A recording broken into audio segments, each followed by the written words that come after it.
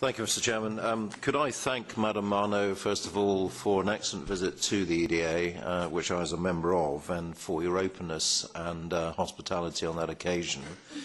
Um, the first question I'd like to ask you, actually, is, I understand, obviously, Baroness Ashton is head of the EDA.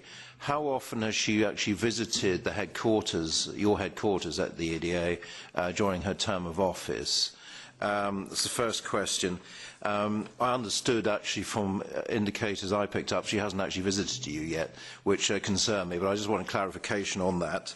Um, the second point, you talked about moving forward, um, and I wanted to ask, what do you see uh, is the ultimate destination of the EDA? Um, you have an excellent career working for the French Ministry of Foreign Affairs, um, And I was wondering if you are trying to do what Schuman failed to do, sorry to go on about this, uh, back in 1954 when he was foreign minister, that is to create a European defence community. Um, I wondered if that is the ultimate destination. Thank you. Mr. Campbell, you don't have to, to count the visit when you are at home. Then I don't count the visit because it is her agency. uh, second element on... Um, Sorry? no, but I answered to you. but it's... It, Classified information. but uh, you have many ways to be. I think it's not uh, to, to, to work together, and I think that she, she really worked uh, permanently as regard EDA. Then now, as regard, as regard, uh, well, what is the purpose? Um, I think CED was a step in history. Um,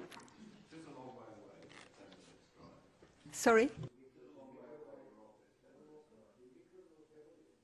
Now, I come back to uh, la CED. Um, I think that the objective is to support what the member states are, are, are ready to do. Then for the, for the time being, they take sovereign decision in the field, I, I take EDA, in the field of capabilities, we are here to support them in taking, again, sovereign decision regarding uh, defense and their capabilities for defense. The more, what they want at the same time is to be cost efficient, and also they want to be interoperable. I think all the initiatives that we discuss with the ministers are really to be more efficient, to have better capabilities in Europe, and one of the key for better uh, capabilities is to be able to work together and to be effectively interoperable. And I think that is the objective for the moment, and the rest is linked to any, uh, again, uh, political decision taken at the highest level or institutional decision to be taken by the member states.